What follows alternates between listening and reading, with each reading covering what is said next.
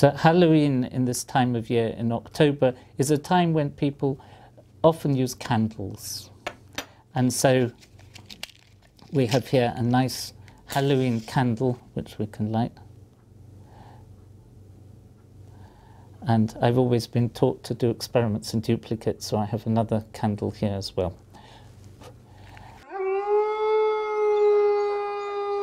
And the chemistry of candles is really very interesting. It's, um, in fact, the very famous scientist Michael Faraday wrote a whole book called The Chemical History of the Candle. Here's a J Japanese version of the same book, bit smaller, but just the same. We take the um, fuel, which is the wax, which is a compound that is a long chain of CH2 groups, that's one carbon and two hydrogen. Wax melts to make a liquid, and the liquid then is drawn up along the wick, which is just a simple piece of, um, like a piece of string, and then it burns. And there's an awful lot of energy stored in the molecules of wax. There's much more energy in a molecule of wax than there is in a molecule of TNT. When the wax burns, you can imagine that there's this material burning with oxygen outside here, and in the middle of the flame, there isn't so much oxygen because it has to get into the middle. And so the colour of the flame actually comes from very hot particles of carbon. You can see this quite easily if you take a spoon and put it in the flame of a candle, just like this you can see then you get a very nice coating of here of the black carbon uh, particles. You're seeing light for just the same reason that if you heat up a piece of wire, as it gets hotter and hotter, the vibrations of the atoms give out light. And so it's just because the particles of carbon are literally red hot. Now, there are two other things which are really quite exciting about the candle. One is that because the wick is right in the middle of the flame, it's kept away from the oxygen. And in the old days, the wick grew longer and longer and longer, and candles got more, more and more smoke from them.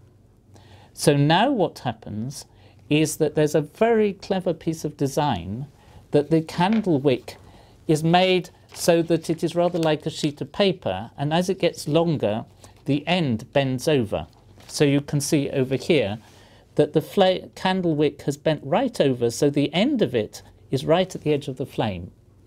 And so as it is at the edge of the flame, it just burns off. So as the flame candle goes down, it automatically trims the end of its candle. Oh, so, so in the 18th century, before this was invented, people had special scissors, and every time, every few minutes, perhaps every quarter of an hour, you had to trim your candle to stop it smoking, but now it does it automatically. Now, the other thing which is quite exciting about candles is what happens when you make them go out. So, when I blow it out, look carefully and you'll see what looks like smoke. So, this actually isn't smoke, but it is tiny particles of wax which, because the vapor of the wax is suddenly getting colder, it sol solidifies and you get these tiny, tiny particles, much smaller than a millionth of a meter, formed. So now I'm going to try and do it again, but this time, when the wax is streaming up, I'm going to show you its wax by lighting it with a match. So, are you ready? Watch carefully.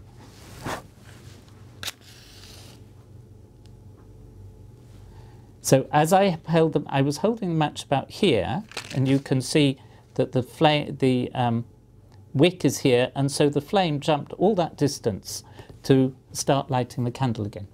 And it made that jump because it went down the stream of wax that was floating up from the wick. And of course, the wick was still hot because it's been burning. So once it got to the wick, it didn't need very much heat to start it off.